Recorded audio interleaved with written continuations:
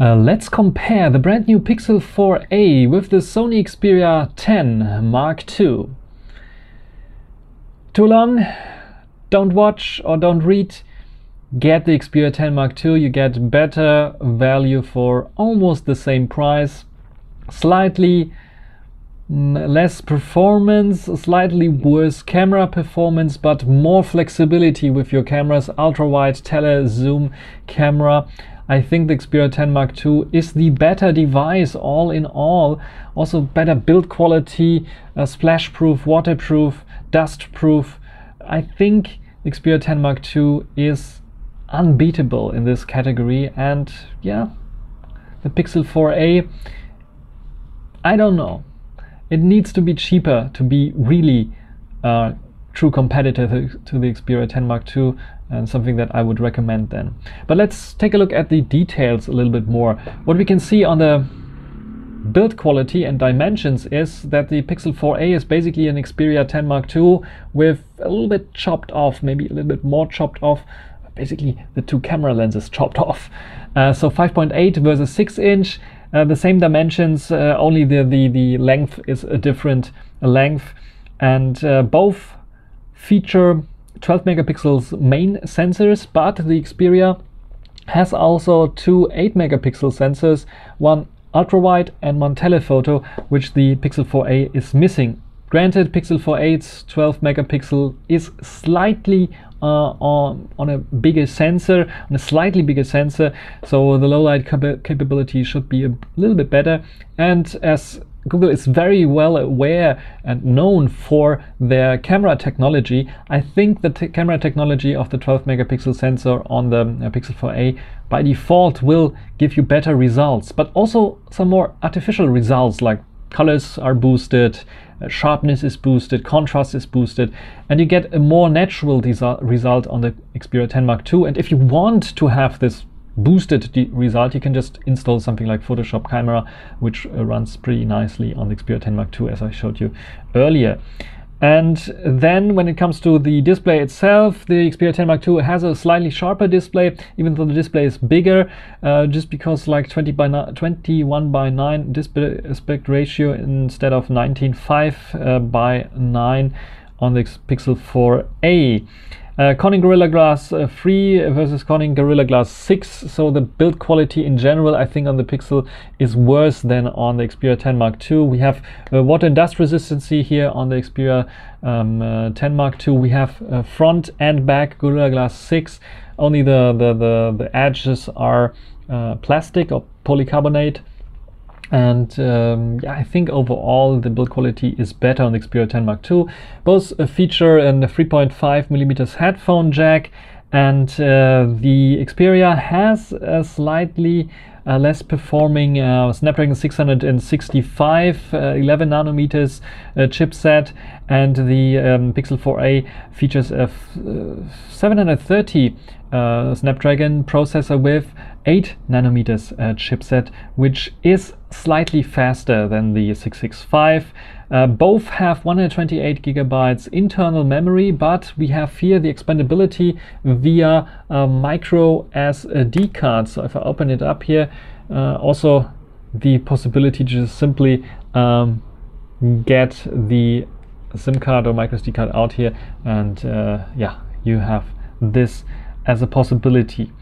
Uh, then when it comes to the front-facing camera, both have basically the same front-facing camera. Granted, Google Colors and boosting and algorithms should produce a better result with the 8 megapixel camera, but in general, I would say for selfies, everyday usage, there should be not a big of an issue. Where the Pixel 4a has an advantage is the stereo setup, so they're using also the uh, earpiece as a second um, stereo sounding speaker, I think, and a bottom firing one. The, the Xperia has the advantage that it is using um, a front firing speaker, but it's only mono and the quality is not the best. So this is something where the Sony Xperia will lag a little bit. When it comes to Bluetooth, they're basically 5.0 versus 5.1. There's not much of a difference there. Uh, both feature a USB Type C port, but the USB Type-C port here only allows for USB speeds uh, of 2.0 and the standard on the Pixel 4a is 3.1 apparently. Uh, both have a fingerprint reader which is not in display but is uh, either on the side here or like on the Pixel 4a on the back. I like the side one better I have to say because I can just if this phone is lying flat on the table I can just like put my hand like this and unlock it. I don't need to grab it and then unlock it from uh, behind which is I think pretty nice. And then in general where the Xperia has a big advantage is the battery life. 3600, 3600 milliampere hours on the Xperia 10 Mark II and only 3140 or 3080. I'm not sure. There are two numbers now floating for the uh, Pixel 4a. You can just write in the comments which is the correct one. Anyway, it's not so far. Um, uh, the discre discrepancy is not so far uh, between those two numbers. So I would say in general the battery life on the Pixel 4a also because of the faster processor um, is not uh, comparable to the Xperia 10 Mark II. So nine hours of screen on time I can get here, two days basically. And um, Google itself is only advertising 24 hours, so one day, basically one full day on the Pixel 4a. So definitely the Xperia 10 Mark II has the advantage when it comes to this. Both have NFC, of course. Then I think the price is also very similar, 340 euros, around 340 euros for the Pixel 4a, 350 euros depending on which country you are in. And here it's 360, so it is like 20 to 10ish difference. Still, I would say the Xperia 10 Mark II is the better device. It has the possibility to be easily expandable with microSD cards. It has the flexibility of a triple lens setup, especially ultra wide images that you can take with it are pretty nice. And also telephoto. Sometimes telephoto is very nice and useful. Of course, Pixel has this artificial telephoto zooming thing, but it is never as good as a real telephoto camera. And uh, yeah, in general, I would say you get a better device with the Xperia 10 Mark II. A little bit slower here and there, gaming maybe not the best.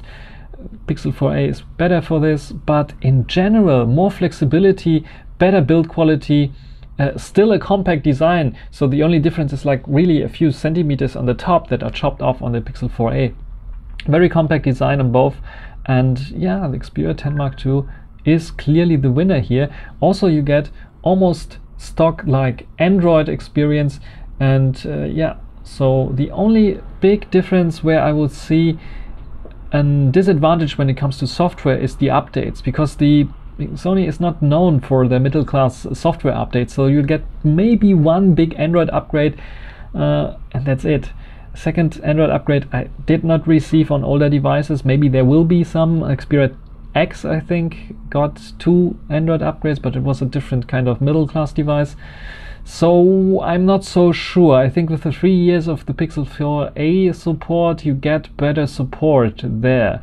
But the better device is clearly the Xperia 10 Mark II, I would say. What do you think? Just write it down in your com in the comments. Uh, give it a thumbs up if you like uh, such comparisons and videos, and uh, like, subscribe, and all this shenanigans. And also visit me on Patreon. I have now a Patreon page as well. Uh, Patreon.com/slash Leszek Lesner. My first name and last name together, small, and uh, there you can donate and support my channel as well if you like to see more videos of this. This is everything for this video. Thanks for watching. Until the next time, bye.